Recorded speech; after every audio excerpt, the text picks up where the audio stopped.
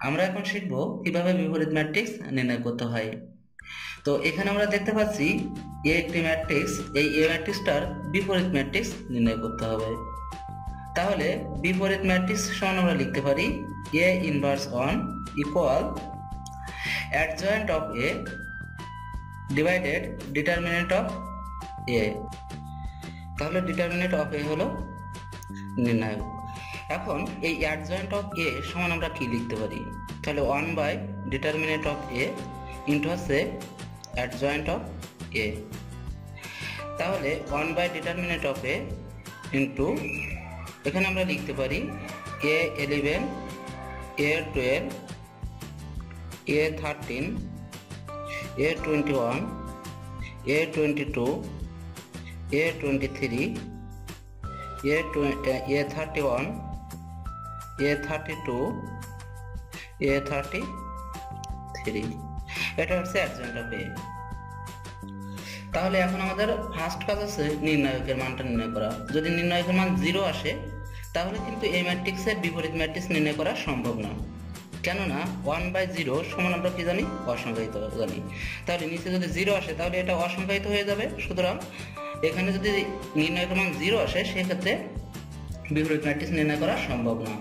তাহলে আমরা আগে বিপরীত, আমরা এই ম্যাট্রিক্সটার নির্ণায়কটা নির্ণয় করে ফেলি। তাহলে আসবে four, one, six, two, four, nine, minus two, zero, four. আমরা এখন নির্ণায়কটা কমপ্লিট করব এটা। তাহলে নির্ণায়কের চিহ্নরিতে আমরা একটু জেনে নিই। নির্ণায়কের চিহ্নরিতে আছে plus, minus plus minus plus minus plus minus, plus. তাহলে প্রথম ভক্তিটা কি হবে? প্লাস হবে। তার মানে আমরা ফোর নিচ্ছি, তার নিচ ফোরের আগে কি হবে প্লাস হবে। যখন আমরা এই ফোরটা নিব, তখন এর কলমটাও বাদ যাবে এবং সারিটা বাদ যাবে। তাহলে থাকে ফোর নাইন জিরো ফোর এই চারটা ঠিক এরকমভাবে গুণ হবে। অর্থাৎ এ ওয়ান এ টু তারপর বি ওয়ান বি টু সমান আমরা লিখতে পারব A one A two minus B one B two তাহলে যখন আমরা ফোরটা নিচ্ছি, থাকতেছে এই সাইডটা তার মানে সিক্সটিন মাইনাস জিরো তারপর আমরা নিব টু এই টু এর আগে কি চিহ্ন হবে? দেখো, এখানে দ্বিতীয় ভক্তিটা আছে মাইনাস সুতরাং টু এর আগে হবে মাইনাস চিহ্ন। তাহলে যদি আমরা টু নিই, এই কলমটা বাদ গেল এবং সারিটা বাদ গেল। তাহলে ফোর মাইনাস কি হবে?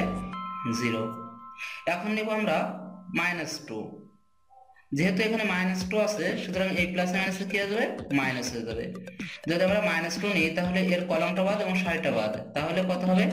নাইন মাইনাস সিক্স তার মানে টোয়েন্টি ফোর তাহলে এখানে আসতেছে সিক্সটি ফোর মাইনাস এইট আর এখানে হলো মাইনাস এখানে নয় থেকে যদি আমরা চব্বিশ বাদ দিয়ে দিই, তাহলে মাইনাস ফিফটিন তার মানে প্লাস থার্টি তাহলে আমরা যদি এখান থেকে বাদ দিয়ে দিই, তাহলে থাকে হলো এইটটি সিক্স তাহলে আমাদের নির্ণয়কের মানটা নির্ণয় করা হয়ে গেল, অর্থাৎ এর মান আসছে থার্টি এইটটি সিক্স তাহলে এটার বিপরীত ম্যাট্রিক্স নির্ণয় করা সম্ভব, কেননা শুধুমাত্র বি নট ইকুয়াল জিরো এর জন্য বিপরীত ম্যাট্রিক্স নির্ণয় করা সম্ভব না, অন্যান্য ক্ষেত্রে বিপরীত ম্যাট্রিক্স নির্ণয় করা সম্ভব। এখন আমাদের নির্ণয় করতে হবে এই ভুক্তিগুলো। তো এখানে আছে, প্রথম আমরা এ এলিমেন্ট নির্ণয় করব। তো এই এলিমেন্টটা কি? এই এলিমেন্টটা আছে এটা, অর্থাৎ এ এলিমেন্টটা আছে এটার সহগুণ যদি আমরা এটা নির্ণয় করি তো আমরা প্রথম যদি ফোর নিই, এখন দেখতে হবে চিহ্নরীতি। তাহলে চিহ্নরীতি কি আছে? প্লাস এখন যদি আমরা ফোরটা নিই, তাহলে এর কলমটা বাদ এবং সারিটা বাদ। তাহলে থাকবে ফোর নাইন জিরো ফোর তাহলে এখানে কি আসতেছে? সিক্সটিন মাইনাস জিরো তার মানে কত আসতেছে? সিক্সটিন তারপর আমরা নির্ণয় করব এ টুয়েলভ এ টুয়েলভ মানে কত? এটা।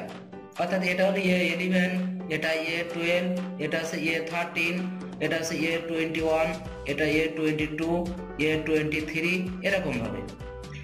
তো এ টুয়েলভ এ টুয়েলভের আগে কি সাইন মাইনাস সাইন তো এই মাইনাসটা আমরা আগে বসাই দিলাম। তোমরা যেটা করবে, এই প্লাস মাইনাস আগে বসে নেবে, তাহলে তোমাদের অঙ্কটা নির্ভুল হবে। যদি আমরা এখানে মাইনাসটা নিই, তার মানে এই ভুক্তিটা নিচ্ছি তাহলে এটার কলাম বাদলো এবং সারি বাদ গেলো থাকল one six zero four one six zero four তাহলে আসতেছে মাইনাস ফোর মাইনাস জিরো তার মানে আসতেছে মাইনাস ফোর এখন আমরা নির্ণয় করব এ থার্টিন তো এ থার্টিন কি? পজিটিভ আমরা প্লাস সাইনটা আগে দিয়ে নিই। তাহলে এ থার্টিন যদি আমরা লিখি, তাহলে এটার কলাম বাদ, এটা বাদ। থাকে one six four nine one six four nine তাহলে এখানে কত থাকতেছে? নাইন মাইনাস টোয়েন্টি ফোর তার মানে এখানে আসতেছে মাইনাস ফিফটিন ব্যাস আমাদের এক নম্বর সারের কাজ শেষ। এখন আমাদের নির্ণয় করতে হবে এ টোয়েন্টি ওয়ান যদি আমরা এ টোয়েন্টি ওয়ান নির্ণয় করি, তাহলে কি আসতেছে? এ টোয়েন্টির আগে কি চিহ্ন? মাইনাস চিহ্ন। তাহলে আমরা মাইনাস চিহ্নটা আগে বসাই দিলাম। অর্থাৎ এইটা। তাহলে এখান থেকে এটা বাদ এবং এটা বাদ। থাকে টু নাইন মাইনাস টু আর four two nine minus two four তাহলে এটার পরিবর্তে আমরা কি লিখতে পারতেছি? মাইনাস এখানে হলো এইট আর এখানে হলো মাইনাস মাইনাস মাইনাস কি হবে? প্লাস আঠারো।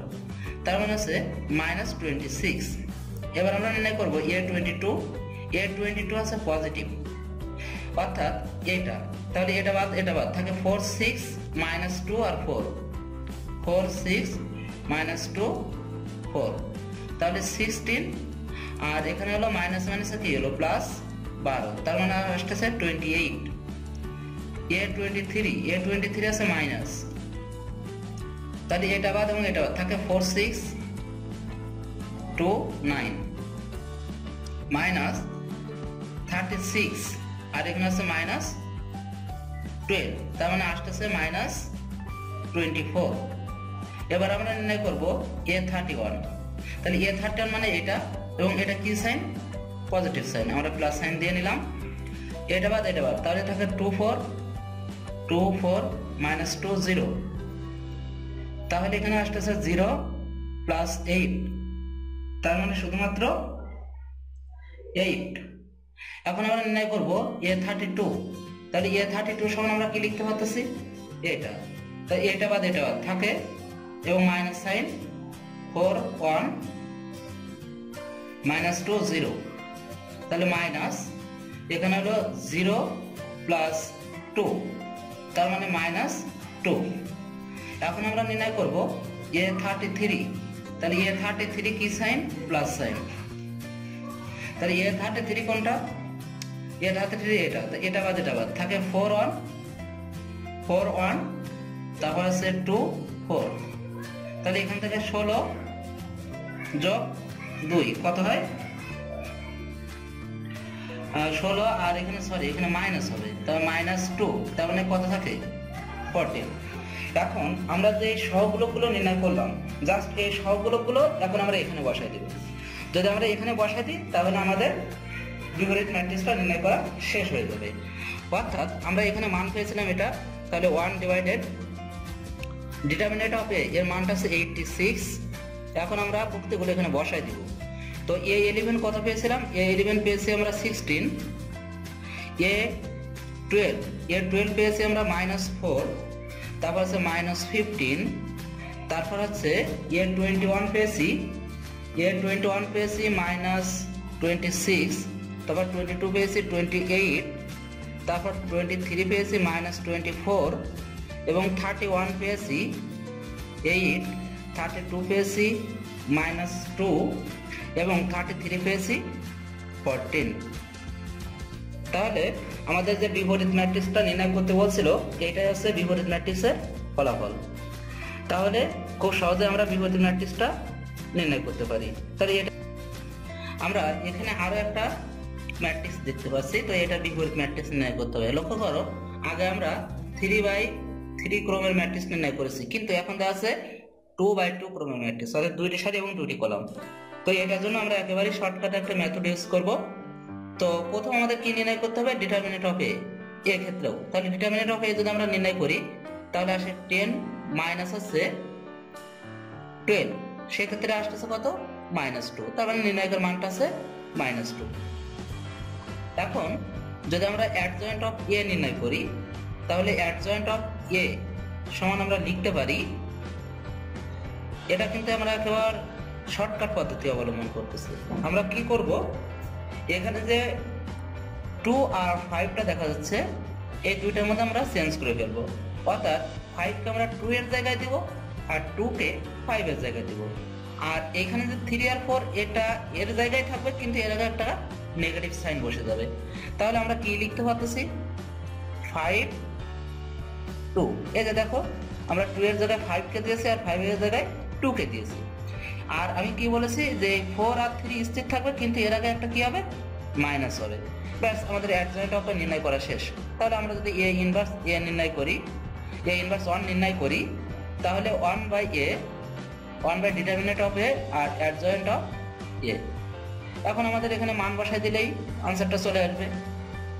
সেক্ষেত্রে আনসার কত আসতেছে?